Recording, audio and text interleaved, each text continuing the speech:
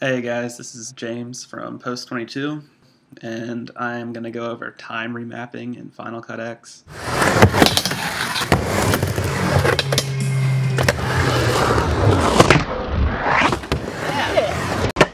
So if you already do this in After Effects like me, then you probably know how annoying it is. Um, just to bring everything into After Effects, tweak it, render it out, bring it back into Final Cut. It's kind of an involved process. Uh, Final Cut Pro X makes it a lot easier. It's not as flexible, but it's getting it's pretty pretty good, and I'll show you what I mean here in a second. All right, so got my clip. I'll set an in and out. So start it there, end it there. I want to slow mo that hurricane grind. Um, so that's the trick I want to slow mo right there. I've got my clip. Let me just play it really quick.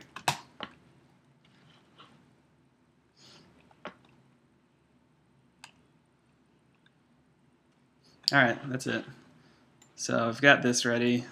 Now to slow it, you just do speed ramp to zero and it gives you these kind of arbitrary weird numbers right here. What it's doing is slow-moing a clip. At the beginning it starts at 100% and it goes all the way to 0%, which is, uh, I mean, pretty useless for anything that I do.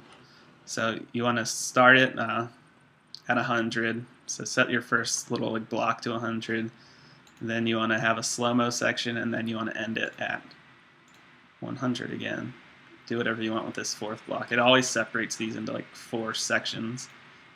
Um, and I don't think you can change that from what I've uh, found.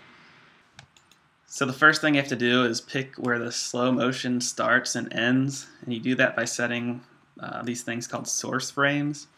And so I've got the general outline of it, start fast, go to slow, end fast. I want the slow motion to start right about there. I want it to end right about there. And then I want to make it slower. And now I am actually done. It was really fast. So let's try it out.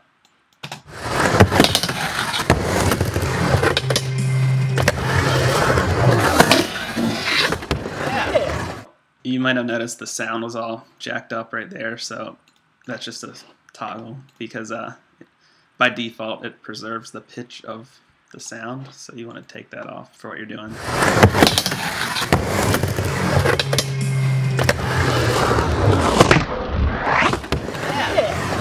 That was pretty easy. Um, there's no rendering or anything. It's already in your timeline, ready to be edited. Uh, you might notice that it starts slowing right around this area that's just because it gives you a default curve that, as far as I know, you cannot change.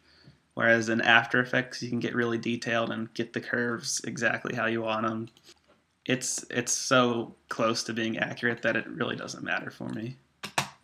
Anyways, I'm gonna keep trucking and stay tuned for some more clips.